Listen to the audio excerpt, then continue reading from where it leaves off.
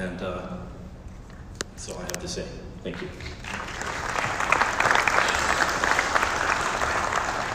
The chair recognizes the gentleman at microphone 1A.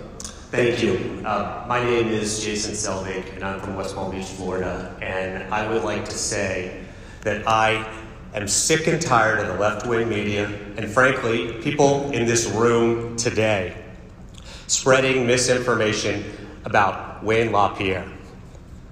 Whenever there's a mass shooting, they all say that Wayne LaPierre isn't doing enough to stop these mass shootings, and even implying that Wayne LaPierre has played a part in making it easier for these shooters to, to get guns, to get weapons. You, you heard it after Las Vegas. You heard it after Pulse nightclub in Orlando. You heard it after Columbine. You, you, you heard it after Parkland. You heard it after Virginia Tech. You heard it after Sandy Hook. You heard it after El Paso. You heard it after Buffalo. You kept hearing that Wayne LaPierre isn't doing enough. And frankly, that's not true. The NRA, under Wayne LaPierre's leadership, has provided thoughts and prayers to the victims and their families. And, and maybe these mass shootings would stop happening if, if we all thought a little bit more and we prayed a little bit more.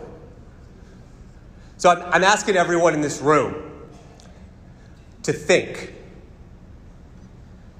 to pray. Give your thoughts and your prayers, and your thoughts and your prayers, and your prayers and your thoughts.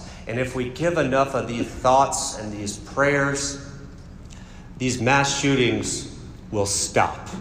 So I, I want to thank you Wayne LaPierre, for all your thoughts and all your prayers. Thank you.